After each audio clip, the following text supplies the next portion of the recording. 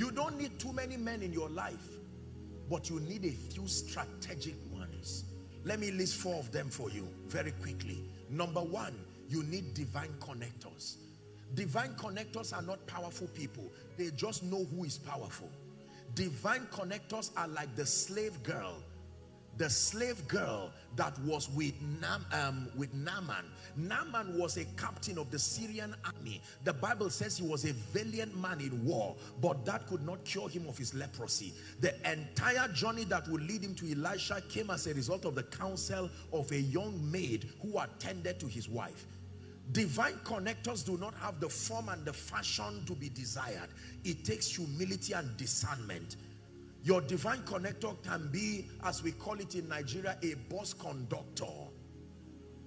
Your divine connector can be someone, your cab driver. You order an Uber or a Bolt and someone can be in that car listening to a man of God's message. And your 20 minutes journey can be the beginning of knowing the grace that will help you. Divine connectors are powerful. That is why if you only respect great people, you will be in trouble. Because great people are enhanced and helped by supposedly average people. When you see an office looking clean, it's not the CEO that cleaned it. There was someone who cleaned it and put things in place. And that someone who cleaned it can choose to pull away your file. And that's the end of it. As small as he is, he can stop a CEO from getting a contract.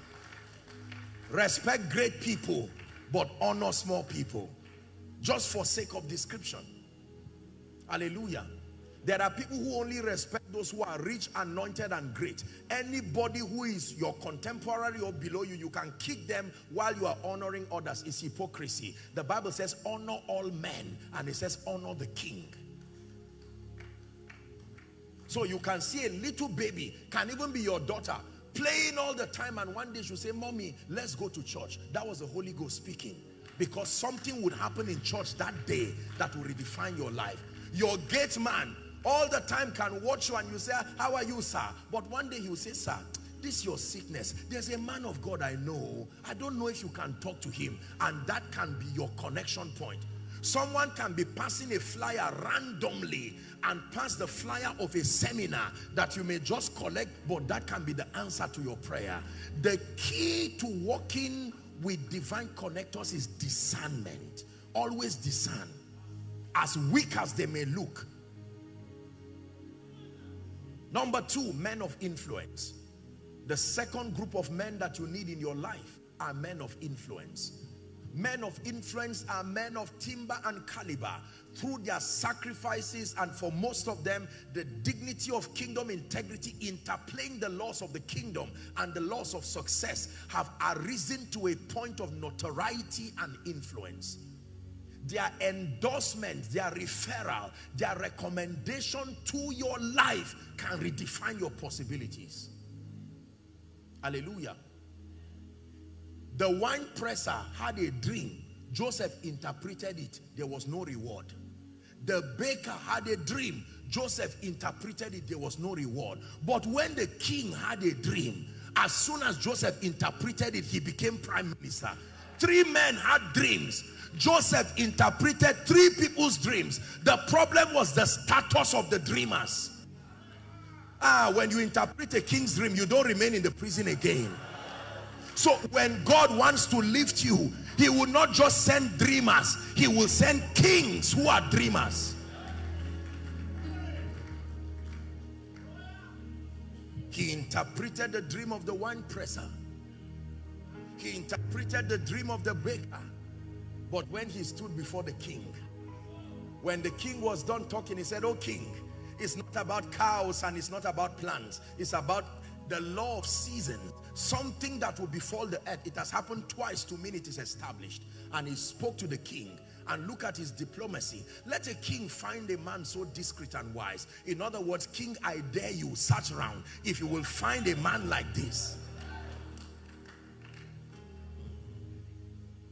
Are we together? When you serve kings, you never serve from the prison. They have the power to bring you out of the prison. The Bible says, and the king sent for him and they brought him out of his dungeon.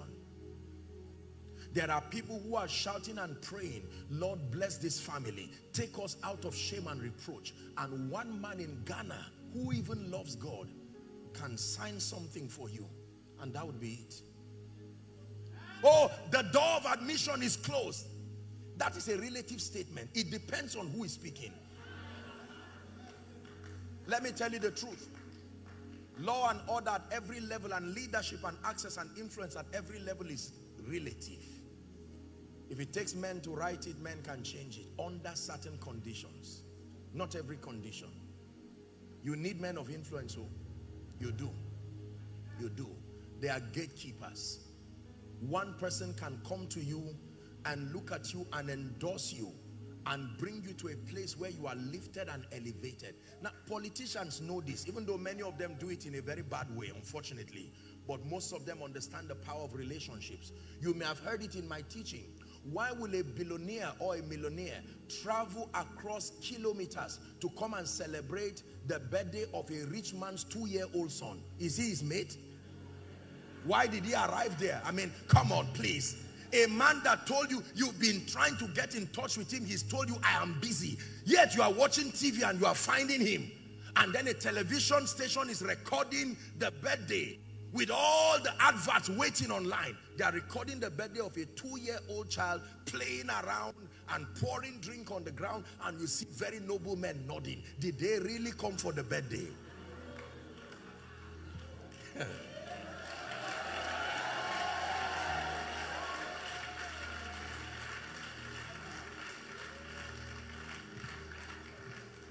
I'm not saying to go and run around the corridors of uh, psychophants and people who are godless. There is order and we do it with discernment and caution. But by all means, you better begin to thank God when noble people come into your life. Even as a pastor, don't get into the pride of telling everyone, I don't care anybody. God brings a noble person, one like Joseph of Arimathea, and we throw them away and say it does not matter. They leave you with your frustration and go. They are the ones, and you find out that people are praying. Your answer comes to you and you do not know. You know they were praying for Peter to come out of the prison in Acts chapter 12 when Peter came out of the prison and went to where believers were praying, they opened the door and saw him and closed it back. They said, no, it is his angel. This is the guy they were praying about. And yet he had come as an answer. And they closed the door again. They said, let's keep praying. Most believers keep praying, but when their answers come, they come in men and they do not know. The moment you start praying, start discerning the men who are coming. Because answers come embodied in men. Sit down, let's finish up. So number one, divine connectors, two men of influence. Number three, gifted men. I was watching your media recap of my teaching yesterday and I just whispered to the bishop, I said your media people are nice people. Their production, their, their intelligence for production is good. Hallelujah. Now, as a member of this church, you are happy. But were you the one who did that work? No. But you can share in your glory, in the glory of the, you know, the commendation. Why? Because of the presence of gifted men. Perhaps the men who did this now are nameless, faceless, somewhere doing their work. Gifted people are powerful. The greatest corporations on earth thrive well because they take out time to invest in bringing together the best minds. Gifted people are a blessing Gifted people are a blessing. When God brings gifted people to your life spiritually, corporately, don't throw them away. Appreciate them. Gifted people are powerful.